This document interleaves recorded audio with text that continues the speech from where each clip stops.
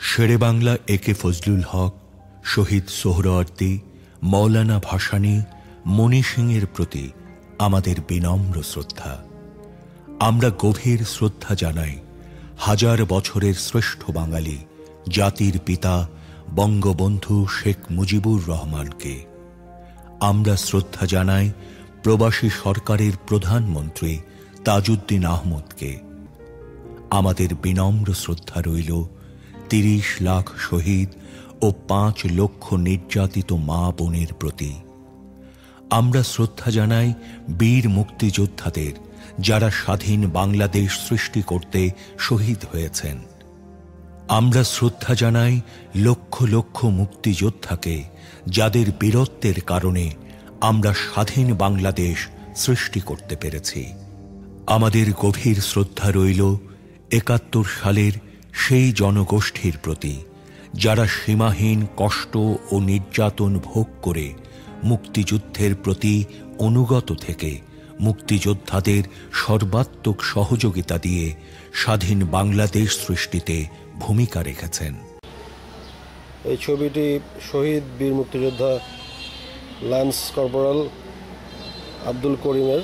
নাম আব্দুল। শহীদ আব্দুল করিম। সংগ্রামের গেছে। কখনো গেছে তুই করে বলতে পারি না। সুন্দর করে যে সিদ্ধি দিছে সিদ্ধা খাইছি সুন্দর তারি করে যে যুদ্ধ যায় সিদ্ধা উত্তর আর দিও না সিদ্ধা উত্তর উত্তর পাইতাম না। আমার যে করতে কই না ঠিক নাই। মৃত্যু কোনো খবরও পাইছি না, যে কই করে মরছে, কই কী হচ্ছে অনেক কানে হুঁজছে অনেক কানে বিচারছি কোনো কানে আমার হুঁজ পাইছি না। এরপর থেকে বছর দু বছর আগে নিউজ দিয়েছে যে আর কোনো আশা নাই আশা ছাড়া শহীদ দিচ্ছে যুদ্ধে। এটা এটা হওয়া গেছে এরপর এক ছেলে হইল স্বাধীন হওয়ার পরে। আপনার ছেলের জন্ম কখন হয়েছে? ডিসেম্বরের চোদ্দ তারিখ। জমিনার দিন স্বাধীন হয়েছে এই দিন আমার ছেলে জন্ম। আবার প্রথম কিছু রাওয়ালপিন্ডি আছে শিয়ালপুর আছে। রাওয়ালপিন্ডি? আর রাওয়ালপিন্ডি শিয়ালপুর এরপর আছে রাজশাহী। সংগ্রাম এক বছর আগে দিয়ে তো দহিত্র আপনার ছেলের সন্তান। তোমার নাম কি? আমার নাম আব্দুল্লাহ নোমান আমার আব্বার নাম নুরুল ইসলাম আর আমার পিতামহ শহীদ শহীদ আব্দুল করিম। উনি যুদ্ধের সময় সৈনিক ছিলেন পরবর্তীতে ল্যান্স কর্পোরাল ছিলেন আর কি। ওনার জন্মস্থান ছিল ব্রাহ্মণবাড়িয়া জেলার নবীনগর থানার আহমদপুর গ্রামে। পরবর্তীতে উনি ওনার শ্বশুরবাড়ি কণিকারায় উনি অবস্থান করেন উনি কণিকারায় বসতি স্থাপন করেন। তো যুদ্ধের সময় উনি কণিকারায় অবস্থান করেছিলেন। যখন মহান স্বাধীনতা সংগ্রামের ভাষণ দেওয়া হয় সাতই মার্চ, বঙ্গবন্ধু শেখ মুজিবুর রহমান ভাষণ দেন, সেদিনই উনি প্রতিজ্ঞা করেন উনি যুদ্ধে যাবেন। পরবর্তীতে ওনার ওনার কাছে চিঠি আসে যে উনি যুদ্ধে যাবেন ওনাকে যেতে হবে যুদ্ধে। তখন ওনাকে পারিবারিকভাবে অনেকেই নিষেধ করেছিল যে, যুদ্ধে যেতে হবে না, এখন পরিস্থিতি খারাপ। তারপরে উনি যুদ্ধে গিয়েছিলেন। তো উনি যুদ্ধে যান আনুমানিক মার্চের পনেরো তারিখ। আমি পারিবারিকভাবে যতটুকু জানি উনি যাওয়ার পর উনি রাজশাহী যান। রাজশাহী যাওয়ার পর উনি একটা চিঠি লেখেন। চিঠিতে বিস্তারিত উল্লেখ ছিল যে আমি যুদ্ধে যোগদান করলাম আমি বিস্তারিত তথ্য ছিল এটাতে। তারপরে ওনার আর খোঁজ পাওয়া যায় না। চিঠিটা কি আছে? না চিঠি নাই। চিঠিটা নাই। চিঠির মানে চিঠির মাধ্যমে অনেক ইয়ে করা মানে মুক্তিযোদ্ধার প্রমাণক হিসেবে চিঠিটা কাজ করে আর কি। তো পরবর্তীতে গ্যাজেট এবং অন্যান্য কাজে চিঠিটা ব্যবহার করা হয়। তো তখন তো ফটোকপি অ্যাভেলেবল ছিল না। সে কারণে চিঠিটা আর, পারিবারিকভাবে সংরক্ষণ করা হয়নি তো উনি যুদ্ধে যাওয়ার পর ওনার আর কোনো খোঁজ পাওয়া যায় নাই। এদিকে আমার দাদি দাদি সন্তান সম্ভবা ছিলেন। আমার দাদা জানতেনও না যে উনি উনি উনি সন্তান সম্ভবা। তো উনিশশো একাত্তর সালের চোদ্দোই ডিসেম্বর আমার বাবা জন্মগ্রহণ করেন। তো জন্মের পর থেকে আমার বাবা নানান পিতা ছাড়া ছিলেন যেহেতু। সামাজিকভাবে হেয় প্রতিপন্ন অবস্থায় বড় হয়। আমার দাদি আর শহীদ মানে ওনার শ্বশুর বাড়িতে যায় নাই।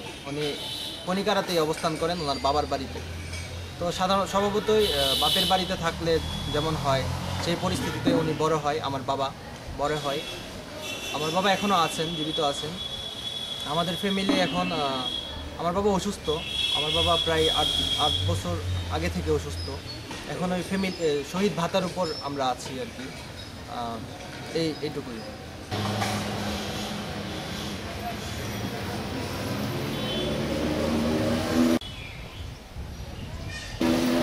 আমরা দাঁড়িয়ে আছি ব্রাহ্মণবাড়িয়া জেলার নবীনগর থানাধীন নবীনগর গভর্নমেন্ট পাইলট উচ্চ বিদ্যালয় প্রাঙ্গণে। এই স্কুলেই উনিশশো একাত্তরে পাক সেনাদের একটি বাংকার ছিল এবং ক্যাম্প ছিল। স্কুলের প্রাঙ্গণে মূল ফটকের ঠিক বাম পাশে অবস্থিত একজন বীর শহীদ মুক্তিযোদ্ধার সমাধিসৌধ। অত্র বিদ্যালয়ের একজন ছাত্র শহীদ মোহাম্মদ আব্দুল সালাম সরকার, যিনি মুক্তিযুদ্ধের একেবারে শেষ পর্যায়ে তেরোই ডিসেম্বর স্থান থেকে কিছু দূর সামনেই পাক সেনাদের সাথে সম্মুখ যুদ্ধে শহীদ হন।